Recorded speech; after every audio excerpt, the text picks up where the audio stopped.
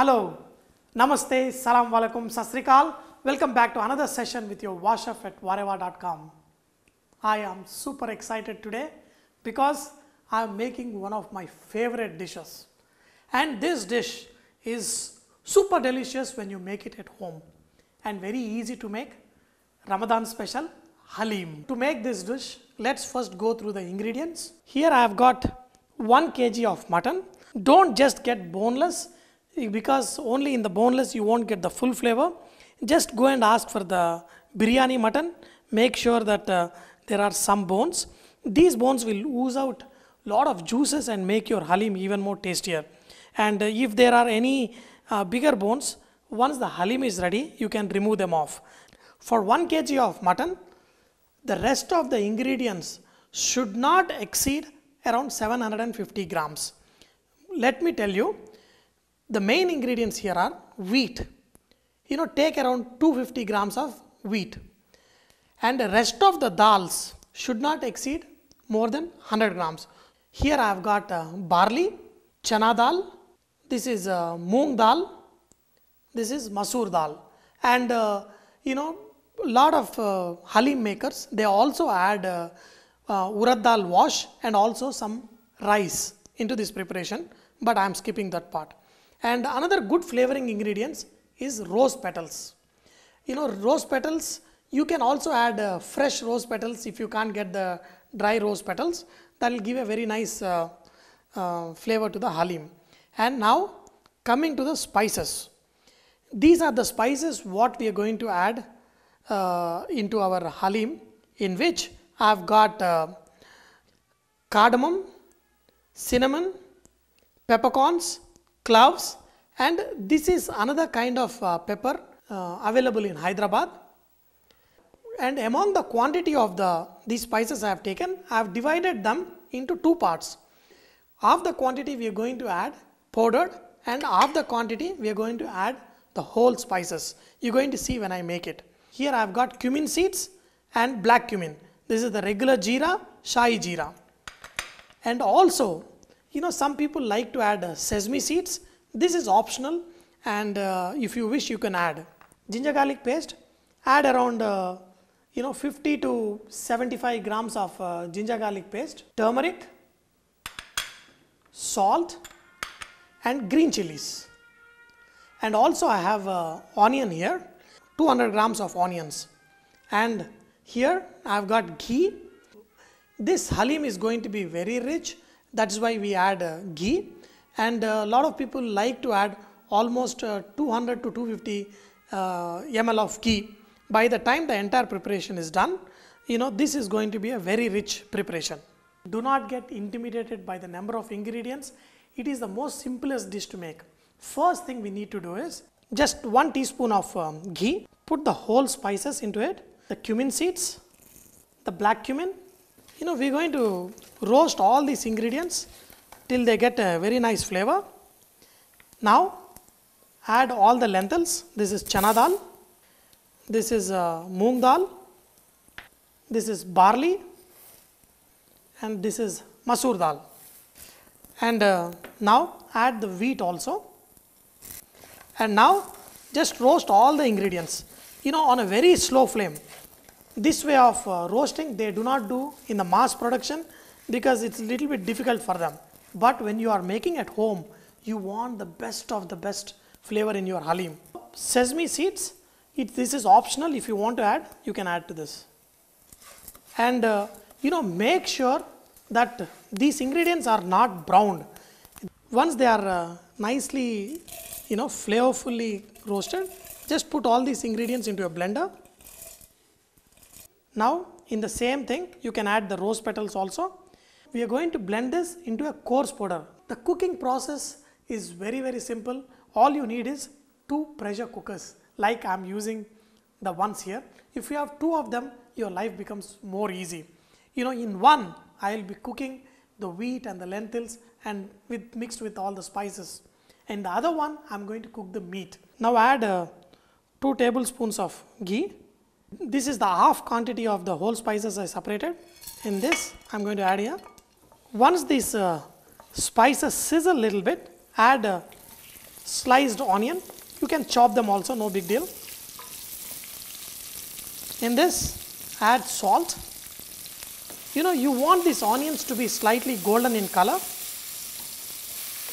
I have taken around uh, two big onions. Add a little bit of turmeric. You know, do not add too much of turmeric. Add ginger garlic paste. Add uh, around 3 tablespoon of ginger garlic paste for 1 kg of uh, meat. Add green chilies. Just cut them into two pieces and uh, just let it cook till this raw flavor of ginger garlic paste is gone. Now add the meat. You know, I like to add the meat with the bone on. That will bring out a really good flavors into your halim.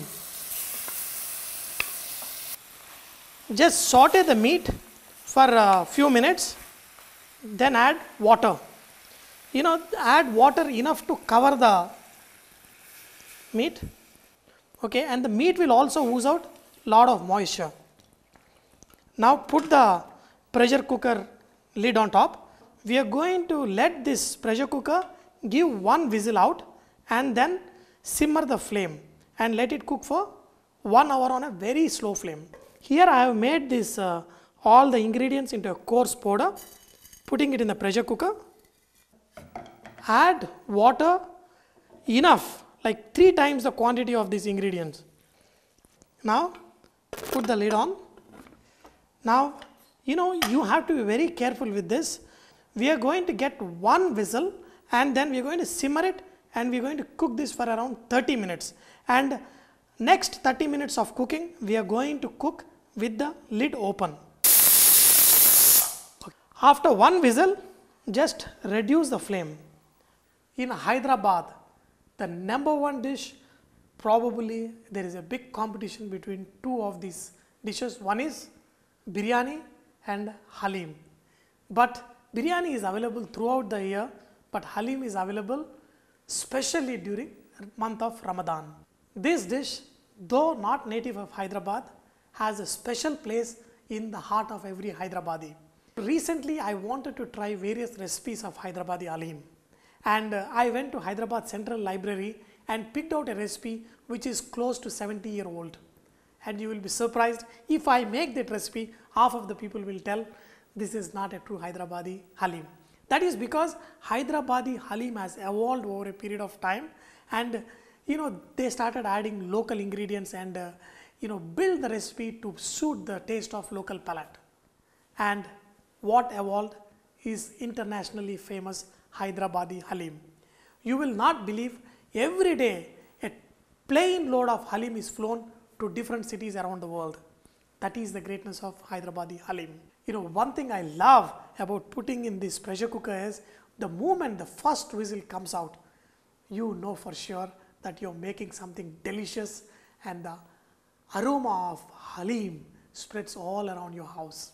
Now, this uh, the wheat and the lentils have cooked for half an hour and then you know remove the lid and uh, you can use this masher and uh, you can mash it little bit you know make sure that you add enough water in uh, cooking this uh, wheat and lentil or else it can burn at the bottom okay? Now this is fine. Let's also look at the meat. I cooked it for almost uh, one hour in the pressure cooker. After first whistle put it at a sim and look at this. Meat is so tenderly cooked. This is perfect. Now we are going to mix both these uh, wheat and uh, the meat together. For this i've got another vessel here you know you can put it in one pressure cooker if that is enough. And uh, i'm going to add lamb first. Fantastic. To this i'm going to add the wheat that's really cooked. Look at it. This looks as if it's uh, really mashed all together. We are going to cook it further. And uh, you know while using this uh, masher you could also use the wooden spoon if you have especially the ones that we use to mash the dals. The smaller bones you can let them remain but the bigger bones if any with the help of uh, this masher itself you can remove them off. We are getting to a process of uh, making this halim awesome silky and nice. You know take a masher and keep doing this for at least uh, you know 25 to 30 minutes. This is the only tedious process in this preparation, but the result is worth you know after 20 to 30 minutes of slow cooking and then mashing it with uh, the wooden spoon or uh, even the potato masher is good. Now add salt. You know make sure uh, now this is the time you add you know right amount of salt.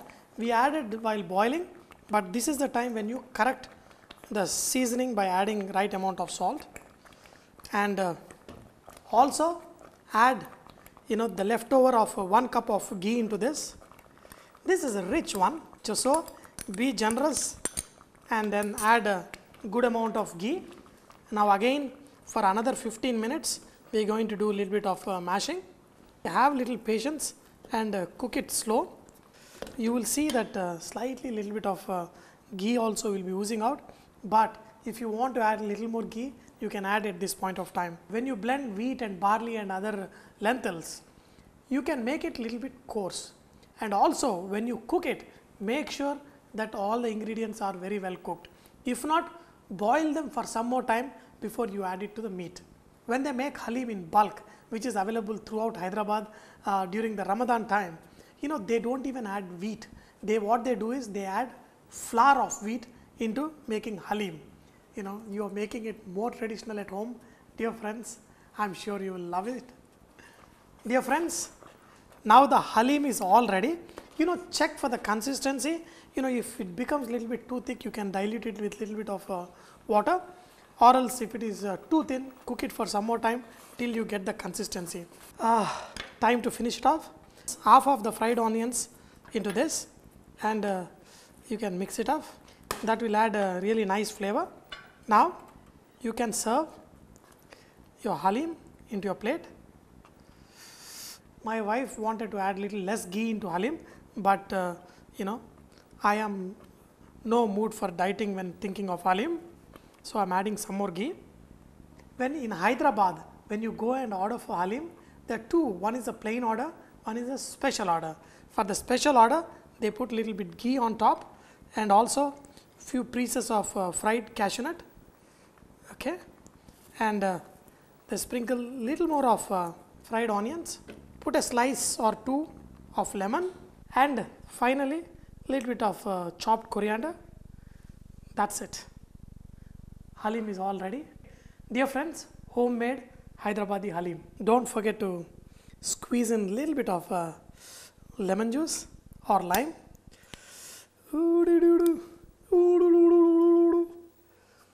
Mm.